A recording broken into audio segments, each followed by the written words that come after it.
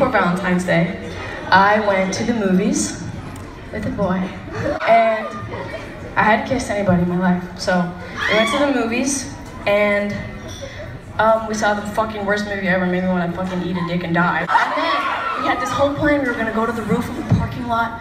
We were just gonna look at the stars, fucking as if there were stars in LA. Nobody see the sky. So we went to the roof. We sat there, and um, we kissed.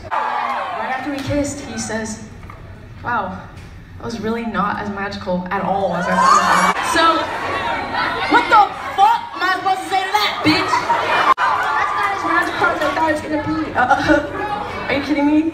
My lips are beautiful. Now, this song is dedicated to Henry Whitford.